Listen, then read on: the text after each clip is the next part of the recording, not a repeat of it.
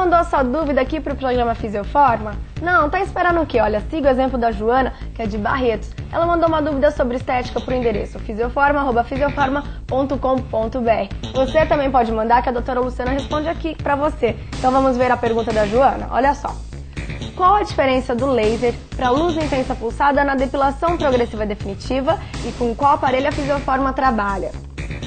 Olha, Joana, nós já trabalhamos com laser já há mais de 10 anos. O laser foi o primeiro equipamento que surgiu para fazer a depilação definitiva.